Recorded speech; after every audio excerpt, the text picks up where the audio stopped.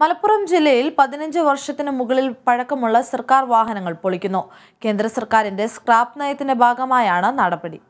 കഴിഞ്ഞ വർഷം പുറത്തിറക്കിയ സ്ക്രാപ്പിംഗ് നയത്തിന്റെ ഭാഗമായാണ് തീരുമാനം. റോഡുകളിൽ നിന്ന് പഴകിയതും മലിനീകരണമുണ്ടാക്കുന്നതും സുരക്ഷിതമല്ലാത്തതുമായ വാഹനങ്ങളെ ഒഴിവാക്കാനുള്ള ശ്രമത്തിന്റെ ഭാഗമായാണ് നടപടി. കേന്ദ്ര സംസ്ഥാന സർക്കാരുകളുടെ ഉടമസ്ഥതയിലുള്ളതും കേന്ദ്ര ഭരണ പ്രദേശങ്ങളിലെയും പൊതുമേഖലാ സ്ഥാപനങ്ങളിലെയും മുനിസിപ്പൽ സ്ഥാപനങ്ങളിലെയും വാഹനങ്ങളാണ് പൊളിക്കുക.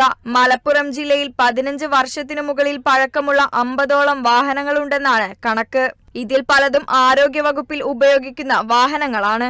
ആംബുലൻസുകൾ വരെ ഇതിൽ ഉൾപ്പെടുന്നുണ്ട്. ഞായറാഴ്ചയോടെ ഇത്തരം വാഹനങ്ങളുടെ കണക്ക് വീൽസ് ഡോട്ട് കേരള എന്ന വെബ്സൈറ്റിൽ അപ്ലോഡ് ചെയ്യാൻ നിർദ്ദേശം നൽകി. മുഴുവൻ സർക്കാർ വകുപ്പുകൾക്കും ഇത്തരം നിർദ്ദേശം നൽകിയിട്ടുണ്ട്. പഴയ വാഹനങ്ങളുടെ കണക്കാവശ്യപ്പെട്ട് ആർ ടി ഒ ഡി എംഒക്ക് കത്ത് നൽകിയതായി കേരള വിഷൻ നേരത്തെ റിപ്പോർട്ട് ചെയ്തിരുന്നു. പഴയ വാഹനങ്ങളുടെ രജിസ്ട്രേഷൻ പതിനഞ്ച് വർഷം പുതുക്കിയിട്ടുണ്ടെങ്കിൽ അത്തരം രജിസ്ട്രേഷനുകളും സ്വയം റദ്ദാക്കപ്പെടുമെന്ന് കേന്ദ്ര നിർദ്ദേശത്തിൽ വ്യക്തമാക്കിയിട്ടുണ്ട്. സ്ക്രാപ്പിംഗ് നയം അടുത്ത ജൂണിൽ രാജ്യവ്യാപകമായി നിലവിൽ വരും. ഇതിനു മുന്നോടിയായി സർക്കാർ വാഹനങ്ങൾ പൊളിച്ച് മാതൃക കാണിക്കാനാണ് കേന്ദ്ര സർക്കാരിന്റെ നീക്കം. Kerala vision news Malappuram.